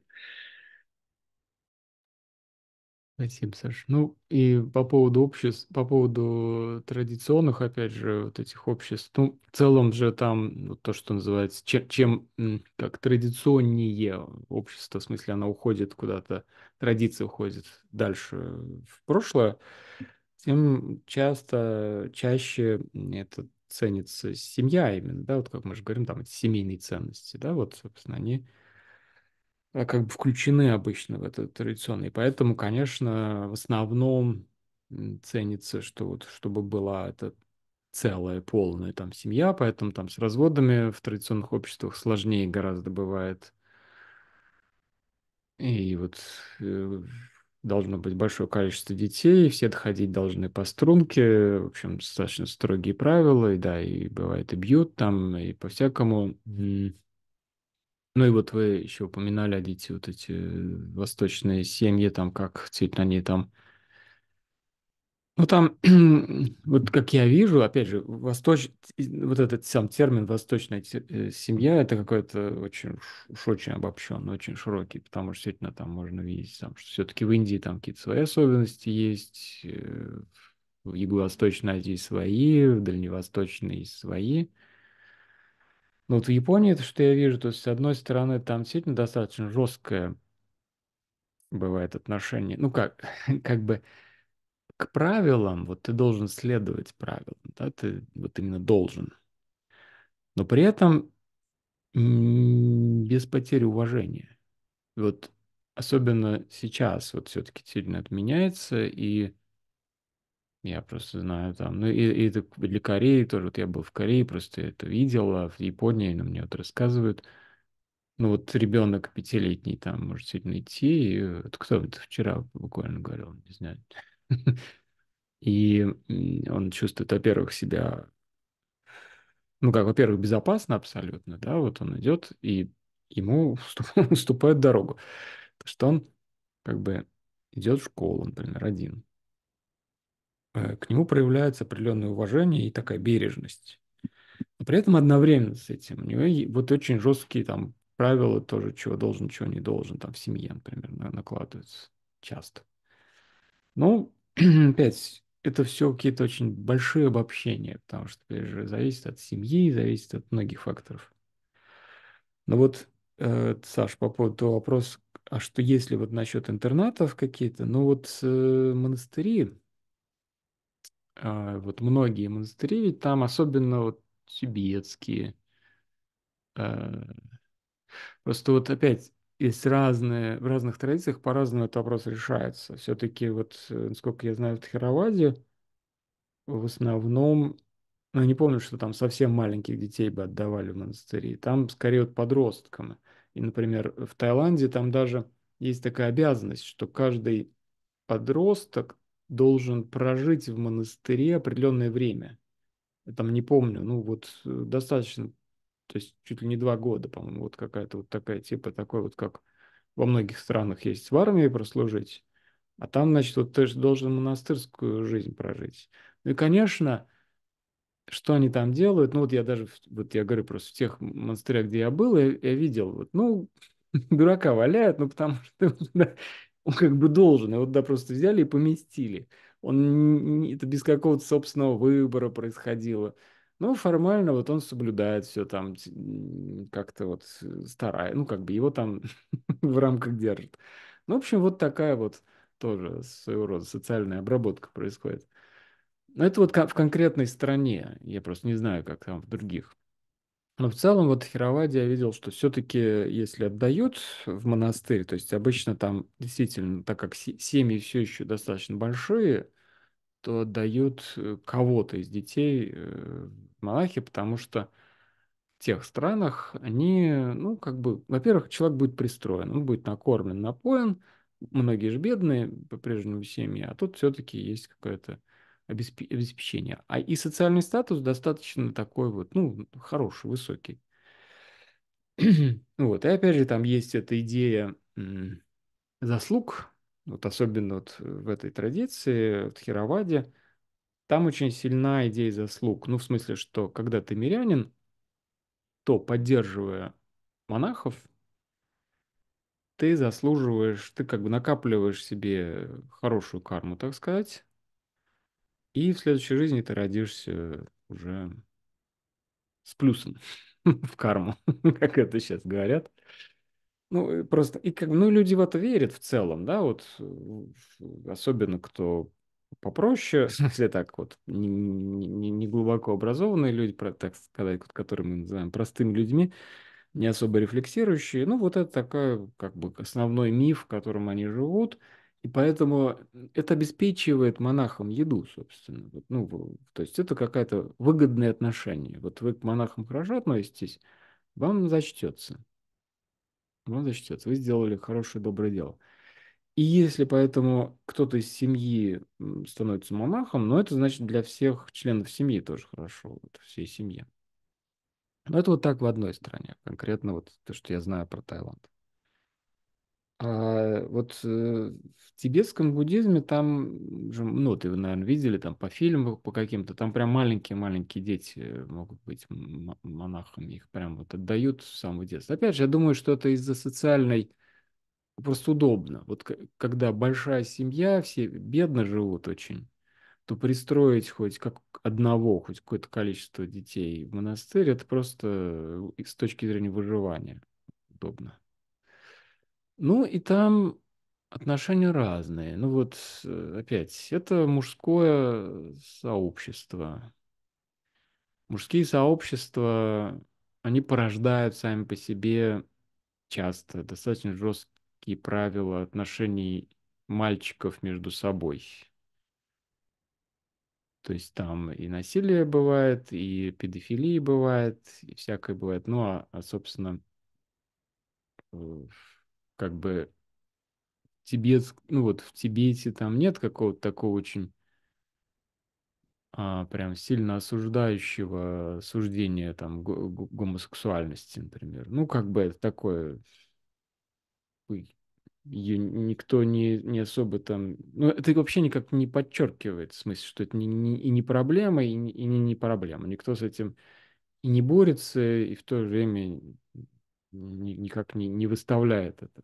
То есть, ну, просто какая-то вот часть жизни, если там, ну, просто это я сейчас говорю, один из таких известных лам, не так давно, там, несколько лет назад написал там книжку своих мемуаров – рассказывая о жизни в монастыре, ну вот как его, в принципе, насиловали там.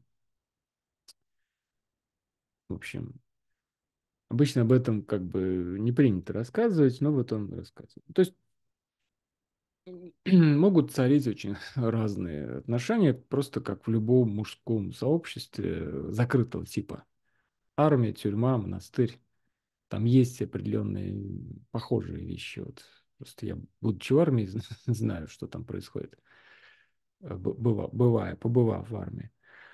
Но, конечно, кроме того, как мужские сообщества сами по себе строятся, ну, важно все-таки вокруг чего они строятся. Понятно, что тюремное сообщество отличается от армейского, и уж точно монастырское сообщество отличается от тюремного, и, и армейского тоже. И, соответственно, дальше уже зависит от того, например, а, а кто там главный, да, там, например, настоятель, какие он устанавливает правила, как он следит за, за происходящим. В принципе, это, ну вот в буддизме еще со времен Будды, то есть если вот там, там же есть, э, если взять канон, канон буддийских текстов, еще самый древний, который вот в палийском как раз буддизме ну, почитается.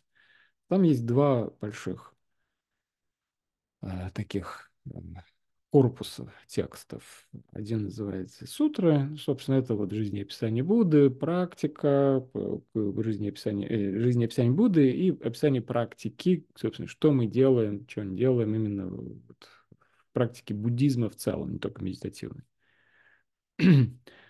есть второй корпус, который называется Виная. Это э, описание правил, правил жизни.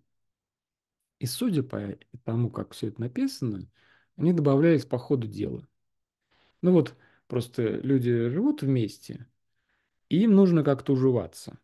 Соответственно, сначала они, может, вообще начинают жить без особых как бы правил, да, потом кто-нибудь что-то делает, он говорит, о, слушайте, ну это так делать не будем, давайте запретим это, такую деятельность. И потом еще что-нибудь, еще кто-нибудь что-нибудь нарушил, и это запретим, и это, и это. И, в общем, все это обрастает правилами, и вот в каноне там их 300 с чем-то, не помню сейчас. И многие из них, они совершенно уже неадекватны для нашего времени. Но, опять же, монастырская жизнь и вообще такая традиционная жизнь, она очень э, консервативна, поэтому многие из этих правил сохраняются. Хотя, опять же, в, в сутре, вот где там упоминается про, когда Будда умирал, то вот этот его ближайший ученик Ананда, он его спрашивает, слушай, ну а как нам жить ты дальше-то после, ты уйдешь, вот он же, он не назначил э, этого, э, ну, следующего, кто будет главным, он говорит, э, она его спрашивает, кто будет после тебя главным? Он говорит, Харма будет вашим учителем. Окей, значит, а что нам вот, у нас столько правил сейчас, нам какие соблюдать? Он говорит, соблюдайте самое главное, а второстепенные как бы отпустить. А не сказал, как, какие из них главные. И они, собравшись вместе, во-первых, выбрали начальника себе снова, ну или там он сам власть, в общем, ну, видно, что человек сам эту власть решил прибрать к рукам. А во-вторых, он говорит, ну, так как Будда нам не сказал, какие правила, давайте все так и будем соблюдать. Все 300 с лишним будут главными. И так это все вот и, и, и идет. Ну вот это в Тхераваде, который соблюдает вот все те, как бы, ту винаю, которую предложил вроде бы со времен Будды еще. А там в других, в Махаяне, опять же, свой корпус правил образуется. Ну и вот, например, в дзен, ну какие-то действительно смешные, там, кажущиеся очень странными. Монаху не положено смотреть, долго смотреть на корабль. на корабль. Ну, видимо, какие-то монахи засматривались, отвлекались от праздника. Вот очень такое прям конкретное правило. Вот, вот на корабле долго смотреть не надо. На лодке. Ну и по поводу сексуальности тоже много всяких. Вот одно из таких, которые я запомнил, что монаху не надо заниматься, нельзя заниматься сексом с тыквой. Ну, потому что там перечислены другие виды секса, конечно, там. Ну, с женщиной, с мужчиной. Ну, вот, видимо, кого-то поймали за занятием с тыквой решили уточнить, что не надо обходить это правило. Вот. Ну, в общем, поэтому, знаете, все-таки, опять же, это есть установки, есть правила, но они зачастую, как и в любом обществе, ну, как-то просто по инерции осуществляются. А есть вот что-то живое, что-то живое присутствие. И вот в каких-то, например, тех же монастырях, вот как у вас было, насколько я понимаю, Саш, по твоим рассказам, в этом интернате. Ну, там действительно были какие-то идеи гуманистические, да, да, они там еще такие очень в советском, советских мифах были укоренены, но все равно они были так хорошие. И, насколько я понимаю, они в вашем случае были осуществлены хорошо. Да?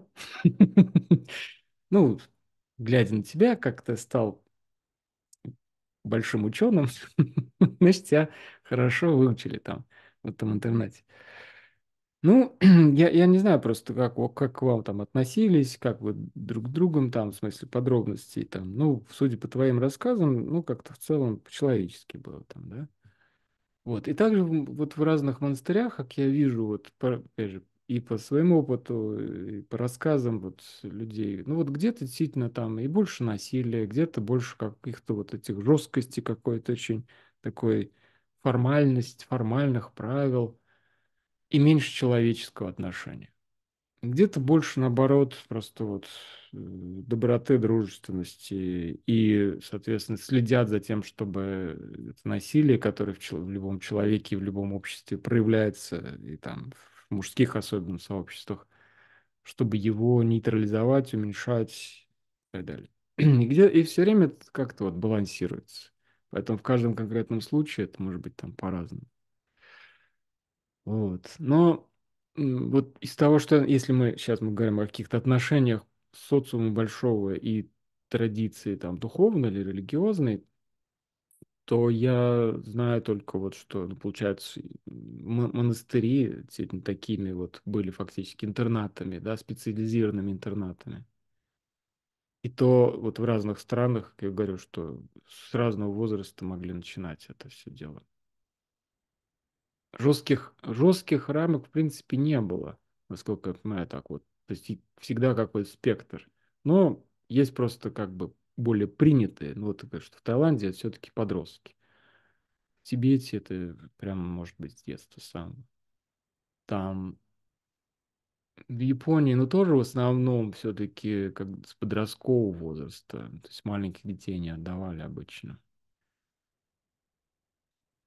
Что я не помню, чтобы прям... Ну, как бы, может быть, я ничего не знаю. Может быть, в каких-то... Опять же, там же, ну, даже вот, если взять японский буддизм, там целый ряд различных традиций. Кроме дзен, там еще другие есть.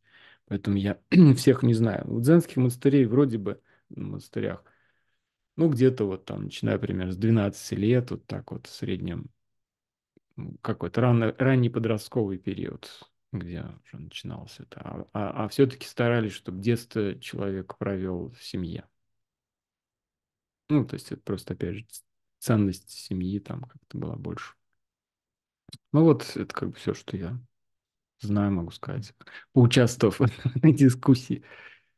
Алексей, скажите, пожалуйста, и мы на этом, наверное, будем на сегодня завершать, потом продолжим. Да, доброе утро. Э, я хочу сказать, что все наши эти разговоры очень помогли мне э, увидеть про себя и про свои отношения с дочкой.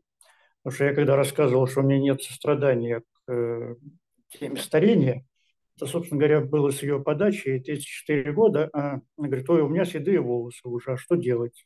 Что я старею? Ну, и мы тогда посмеялись, в общем-то. Вот. А потом еще там кран у нее потек. Она в Питере живет, я в Севастополе.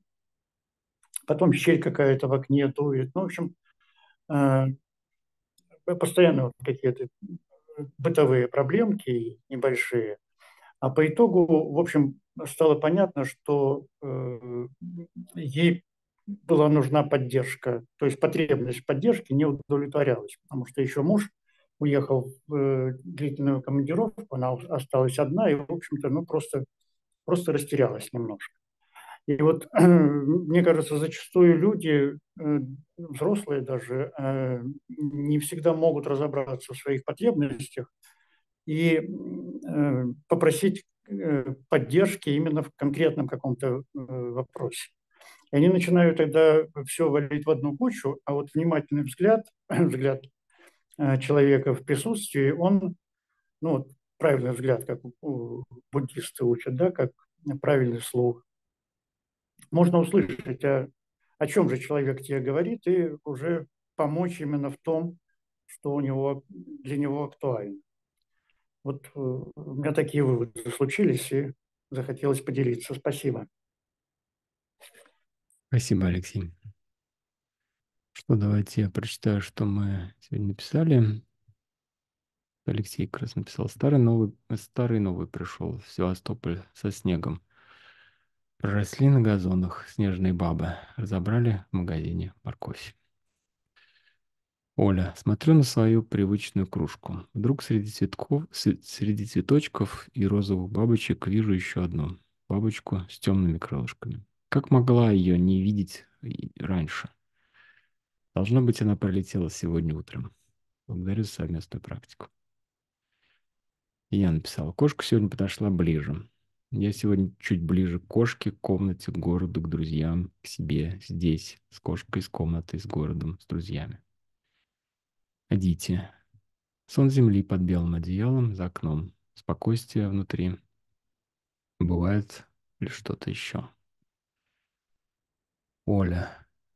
Пора на таз и макушку в небо. Форма весьма заметно влияет на состояние. Как это? Почему? Благодарю нашу Сонгху за поддержку. Владимир. В тишине утра чашка и смотрящий стали одним. Вкус чая прекрасен. Нежная утренняя тишина, не думая о грядущем, не вспоминая прошлое. Пью чай. Лимон в чашке, маленькое солнце пробилось сквозь, сквозь снежную дымку. Прекрасная утренняя тишина. Внутренний или внешний? Этот тихий свет, неважно. Утреннее чудо.